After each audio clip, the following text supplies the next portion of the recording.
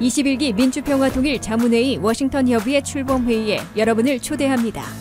평화통일, 한미동맹, 북한 인권과 함께 재외동포 글로벌 통일 네트워크 구축, 민간 통일 공공외교 활성화, 세계 시민의 자유평화 번영에 기여함을 목표로 출범합니다.